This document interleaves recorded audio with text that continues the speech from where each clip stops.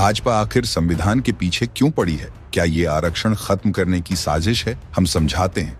भाजपा के कई छुटभैया नेता 400 पार होने पर संविधान खत्म करने की बात कह रहे हैं। हालाँकि ये आदेश इन्हें ऊपर से ही मिलते हैं। भाजपा और आरएसएस हमेशा से आरक्षण के खिलाफ रहे इनका आरक्षण विरोधी चेहरा समझिए। 1990 में वीपी सिंह सरकार ने मंडल कमीशन की रिपोर्ट के आधार पर ओबीसी को आरक्षण दिया। भाजपा ने इसके विरोध में सरकार छोड़ दी और सड़कों पर उतर आई। हालाँकि भाजपा को इस मामले में जहर का घूंट पीना पड़ा। भाजपा चाहकर भी आरक्षण लागू होने से नहीं रोक पाई। अब भाजपा नई रणनीति के साथ दोबारा आई है।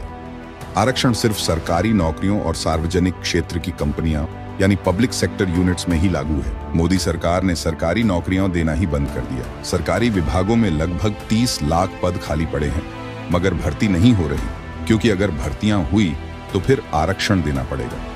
इसी तरह से इन्होंने सारी पीएसयू भी प्राइवेटाइज कर दी है। ये प्राइवेटाइजेशन भी इसीलिए हो रहा है ताकि इन संस्थानों में दलित, आदिवासी और पिछड़ों को आरक्षण न देना पड़े। बीजेपी और आरएसएस शुरुआत से ही आरक्षण विरोधी रही। तो अब समझ में आया आपको कि भाजपा नेता क्यों 400 सीट चाहते हैं, ताकि संविधान को खत्म करके आरक्षण को जड़ से समाप्त किया जा सके। इन दो मुहे भाजपाई और संघियों से सावधान रहें।